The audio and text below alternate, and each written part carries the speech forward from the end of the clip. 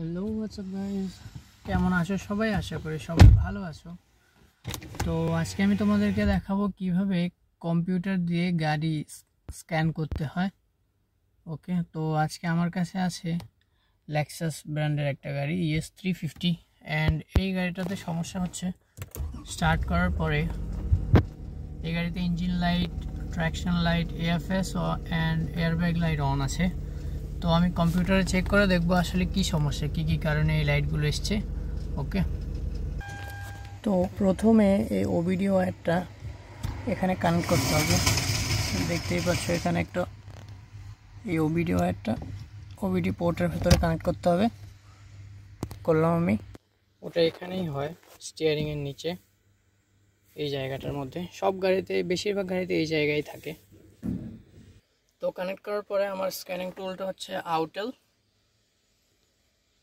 Maxxis light তো এটা যেহেতু একটা লেক্সাস ব্র্যান্ডের গাড়ি সিলেক্ট করে নিলাম Lexus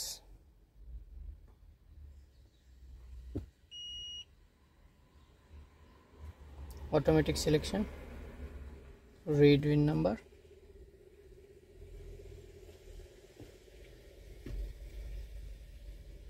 এটা যেহেতু European car Europe other two দুই হাজার নয় মডেল সিলেক্ট এটাতে রাডার আছে। ইএস থ্রি ফিফটি ইএস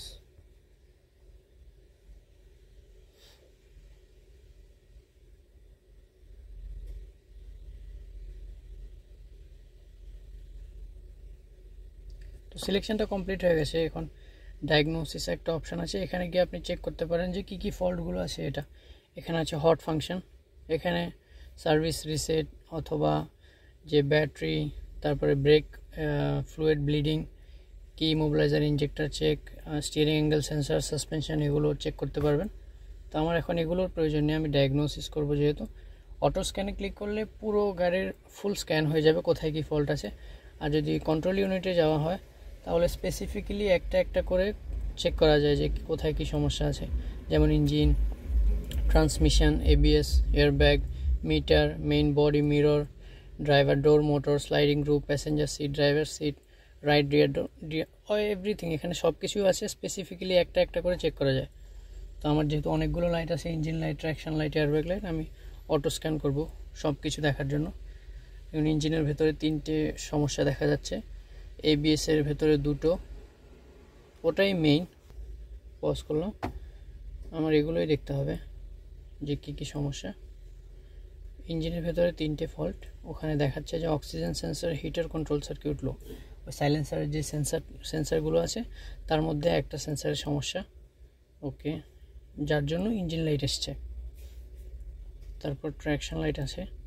এটা দেখাচ্ছে zero point wheel speed sensor wheel speed সেন্সারের সমস্যা আছে, তাই জন্য এই ট্র্যাকশন লাইটটা আসছে। তো এভাবে সব কিছুই চেক করা যায় একটা একটা করে।